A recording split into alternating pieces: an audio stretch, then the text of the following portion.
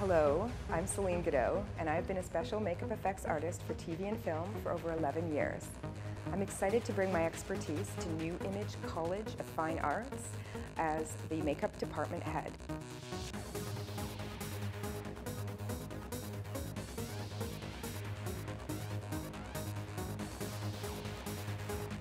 Students start to work on getting faster, refining their speed of application. Over the year program, they get to start out with some of the most basic and fundamental aspects of professional makeup artistry, and each course they get to build on what they've learned in the last until you see them here working on their very final project for prosthetic arts.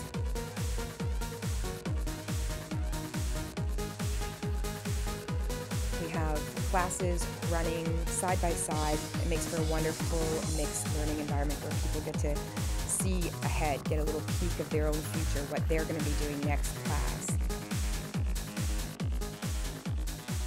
We have a bunch of students who brought models in and they're doing beard application on them. You have to keep in mind they've learned it on a Monday and by Friday they're doing their practical exam in.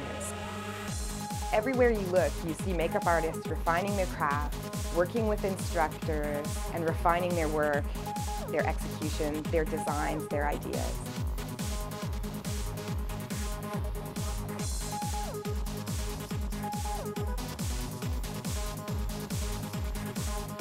We have a lot of exciting weeks where we get immersed in one aspect of makeup application. We get to explore it and refine it and photograph it at the end of the week.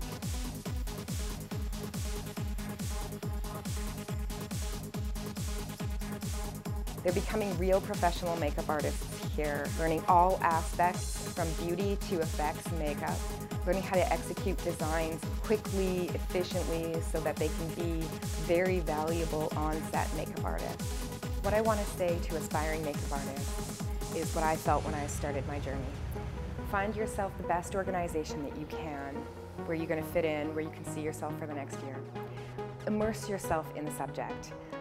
Study makeup outside of class as well as while you're there. And find the best working professionals that you can to be your instructors and your mentors after graduation.